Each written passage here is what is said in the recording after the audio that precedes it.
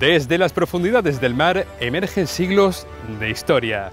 Un galeón del siglo XVII regresa a la superficie para desvelar todos sus secretos. Lo hace desde el puerto de Cádiz y la clave está, cómo no, en la más moderna tecnología. El 27 de julio de 2024 es una fecha escrita con letras de oro en el libro de la arqueología española.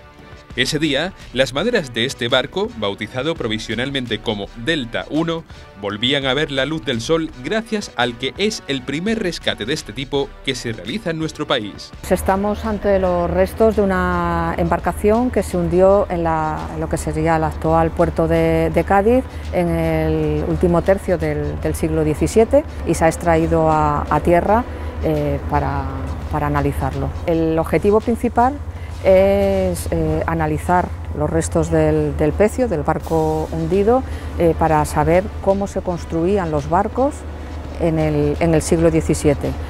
No se conoce su nombre real, su nacionalidad, ni tampoco el motivo por el que se hundió en aguas gaditanas, pero el Delta 1 está siendo sometido a un profundo estudio en el que juegan un papel determinante las nuevas tecnologías. La tecnología es un, es un gran avance porque eh, nos permite ver detalles que nuestro ojo no, no ve eh, y nos, nos, permite ver el conjunto de forma que vamos a poder reconstruir todo el, el, proceso y si llegásemos a saber de qué navío se trata, modelarlo y hacer una reconstrucción de ese, de ese navío. La fotogrametría es la solución adecuada para conformar esta réplica virtual del navío. Dos mil y pico imágenes por cada, por cada vez para que tengamos un registro completo del proceso que estamos realizando. Sirviéndonos de una pértiga estamos pudiendo eh, ubicar la cámara en eh, la superficie del barco para eh, generar del mismo modo un modelo tridimensional del barco al completo. Tenemos que cubrir la totalidad del pecio, los espacios entre los maderos, pero siempre con un solape entre las distintas fotografías de entre un 60 y un 50%. Entonces eh, avanzamos eh, solamente un paso para asegurarnos de que eh, hay una información complementaria entre las distintas fotografías que realizamos.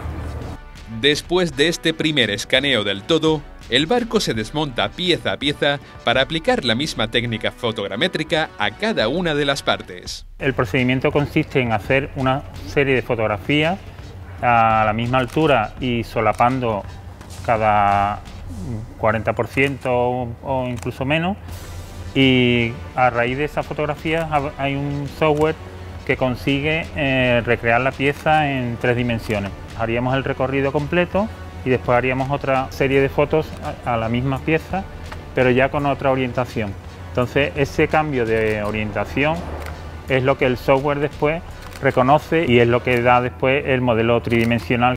Un escáner portátil de última generación ayuda también a que ningún detalle oculto en la madera pase desapercibido. Lo que tiene son como dos ojitos, como si fuera eh, dos ojitos. Uno emite una luz blanca, que es la que hace que recoge la información de la pieza, una emite luz y la otra lo recibe, y es la que, por la que se entran todos los datos que son como puntos, muchos puntitos de información, miles y millones de puntitos de información que se conectan entre ellos creando triángulos, creando polígonos, que es lo que forma esa malla típica de los 3D.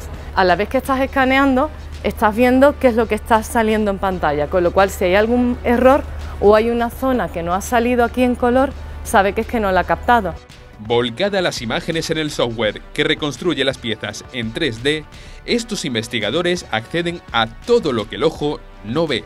Una cuenta chiquitita de, madera, muy, muy pequeñita, o, semillas, ¿no? Eh, que, te, están indicando qué, qué, elementos iban en el barco, con qué comerciaba. Tenemos una, una tabla que formaba parte del, del forro del, del suelo de la, de la bodega que cuando se ha, eh, se ha extraído y se ha empezado a limpiar, en la cara contraria a la que se pisaba hemos podido ver, pues, por ejemplo, un juego que nos parece un juego de tres en raya, sería una tabla que estaba en el astillero y las personas que trabajaban en el astillero en el momento de, de ocio, de descanso, pues jugaban sobre esa, sobre esa tabla. Cuando terminen estos análisis, el Delta 1 volverá al lecho marino, pero no se llevará el secreto de cómo navegábamos, cómo construíamos los barcos y en definitiva de cómo éramos hace 400 años.